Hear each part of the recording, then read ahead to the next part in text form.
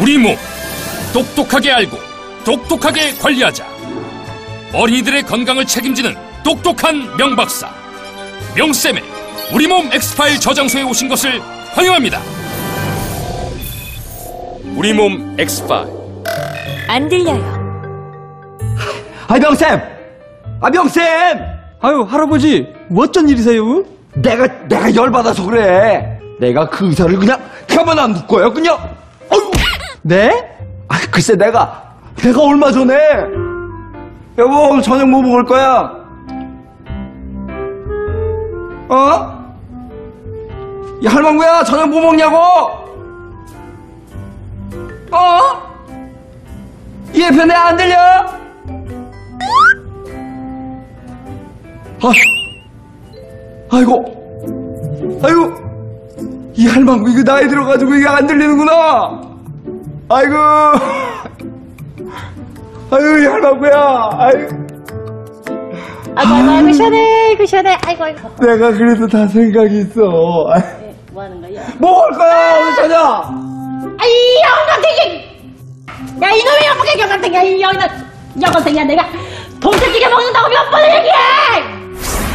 이 할망구야 저녁 뭐 먹냐고? 동태찌개요. 아이 그럼 내가 안 들린다는 거잖아. 그랬어요. 이 내 귀가 귀가 안 들리는 것이었어요. 이 나이 들어가지고 귀도 안 들리고. 아이, 영감탱이야! 남자가 박력이 있어야지, 찔찔 짜고. 아유 이 할망구야 방구 안 꼈어. 아이, 뭐라는 거야? 박력이 있어야 된다고요, 박력이! 박력이? 응. 력이? 그 어떤 여감탱이요? 예? 어? 아이, 야 어떤 여감탱이야? 아, 나이 아이고. 들어서 귀도 안 들리는데.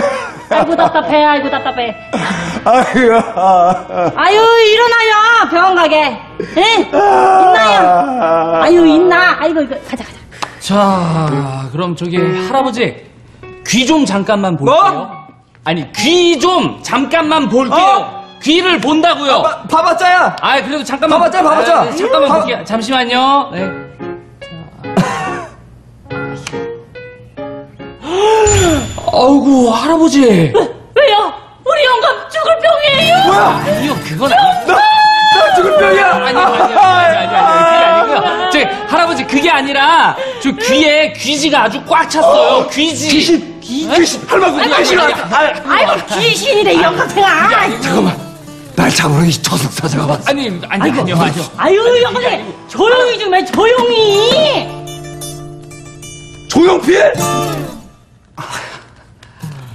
그대가 돌아서면 가슴이 떨려오네. 아니 그게 아니라 지금 심장이 할아버지 할아버지 할아버지 아니 지금 할아버지 아니 그게 아니고 아이고, 할아버지 아이고, 잠시만요 예, 주택.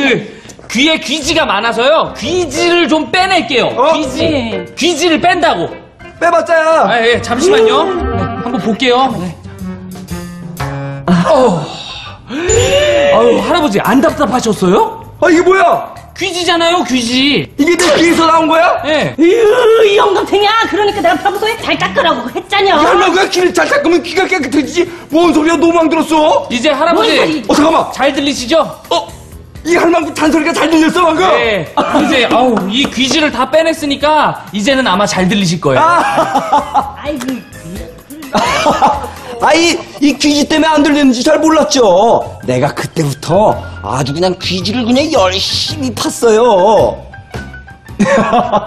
아이, 근데 귀 그렇게 막 파도 돼요? 아이고, 이 할망구야. 그때 그 귀지 못 봤어? 이 귀지는 자고로 깨끗이 파야 되는 거야. 그러다 귀 구멍 나겠네. 아유, 안 파줄 거면 조용히 있어. 구멍이나 나세요. 어? 이- 이, 이게 내가, 아, 아, 그런데, 그런데, 이 귀가 또 안 들리는 거야. 아, 지금 아유, 귀지가 또 이렇게 나왔네요. 이게 뭐야? 귀지. 귀 아이 잉? 내가 내가 귀를 얼마나 열심히 팠는데 어? 아, 그러셨어요? 아, 아마 그러면은 이 면봉을 사용하실 때 되게 깊게. 파라며.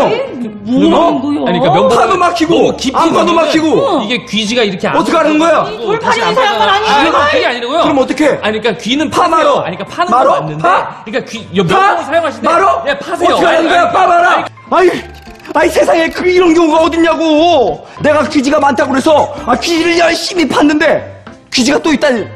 이거 어떻게 해야 돼, 명쌤? 아유, 할아버지 좀 진정하시고요. 진정? 진정? 지금 내가 진정하게 생겼어? 이거 뭐야 이거? 이거 같은 의사라고 의사 편드는 거야 지금? 어, 자, 한번 해보겠다는 거야? 어, 아, 아, 아니에요. 일단 진정하시고요. 귀지가 뭔지부터 알아볼까요? 첫 번째, 귀지 X5. 귀질환?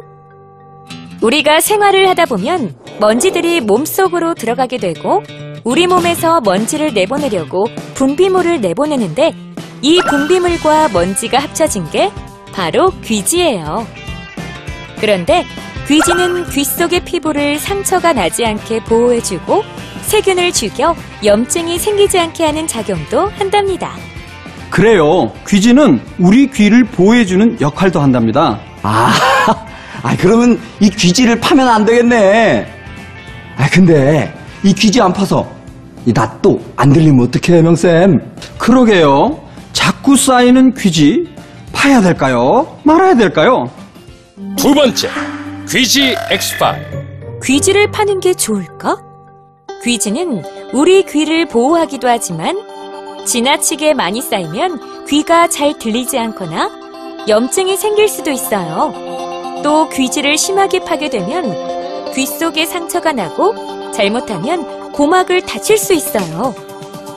특히 면봉으로 귀를 파게 되면 귀지가 오히려 고막 쪽으로 더 들어갈 수 있으니까 면봉은 사용하지 않는 것이 좋답니다.